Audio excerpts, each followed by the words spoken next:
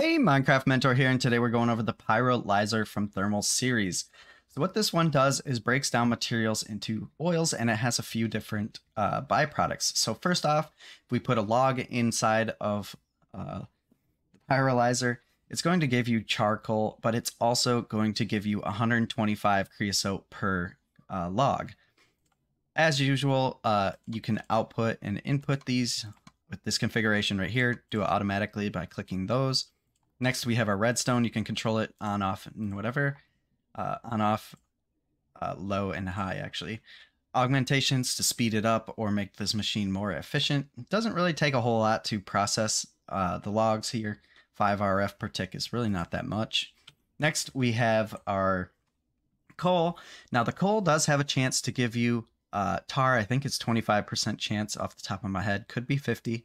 And it also gives you coke this one does produce 250 uh, creosote per coal. Next, finally, we have our bitumen or bitumen, vitamin, vitamin. I don't know. Uh, I'm bad with the names, but anyways, this one actually produces coke, tar, and a very, very small amount of heavy oil. So I think it's about 50, if I'm uh, thinking right, 50 heavy oil per bitumen. And uh, that's pretty much it for this one. If you found it helpful, like, comment, subscribe.